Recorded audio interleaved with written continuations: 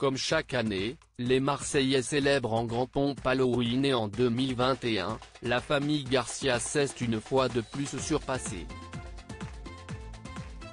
Jessica et son mari Thibaut, actuellement à l'antenne de W9 dans Les Marseillais versus le reste du monde saison 6, ont décidé d'opter pour un déguisement effrayant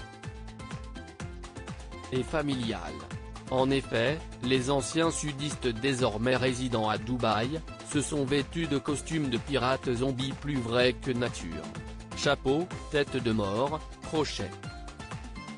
Tout l'attirail des parfaits corsaires était au rendez-vous. Mais ce n'est pas tout car les époux ont également assorti leur progéniture à leur luxe d'enfer. Ainsi, Melon, le premier enfant du couple, était grimé en adorable petit pirate. Même Livan, la fille des heureux parents née en août dernier après une grossesse difficile, a été parée de ses plus beaux atours à l'occasion de la fête. Sur Instagram, Thibaut et Jessica ont partagé avec leurs millions d'abonnés quelques clichés de cette nuit magique.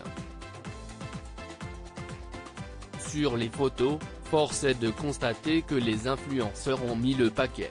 Les Marseillais au top pour Halloween Parmi la grande famille des Marseillais, Jessica et Thibaut ne sont pas les seuls à s'être travestis en inquiétantes créatures.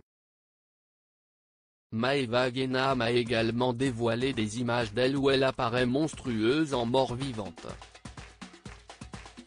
Benjamin Sama et sa compagne Madi Bursiaga ont eux aussi joué le jeu à fond en s'affichant sur les réseaux maquillés en terribles démons. On pouvait également compter sur les jumelles Marine et Océane Elimé pour terrifier leurs abonnés en revêtant des tenues et des perruques intrigantes.